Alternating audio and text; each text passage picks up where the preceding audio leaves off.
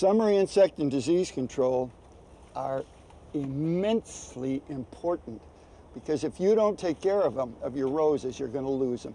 Black spot, rust, cankers uh, are the most serious problems that you have with roses.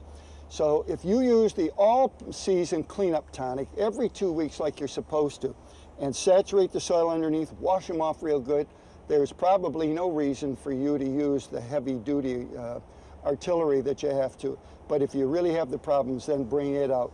And that's in the form of rose and flower dust. Rose and flower dust is available any garden center. It's in a container that you can already use if you want to. But when you punch the holes, if you're going to use this container by itself, don't make the full-size holes. Make them smaller so that when you dust over the top of them, you dust, and, and by the way, you have to dust very high. It's, you're going to get a dust, not mat, all over the, the leaves, because if you do, then you're not helping anything, you're hurting everything.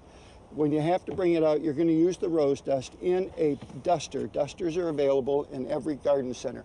Make sure it's on a day when there is no wind. You're doing it in the evening without spectators, no children, not the wife, not anybody. I don't want anybody around.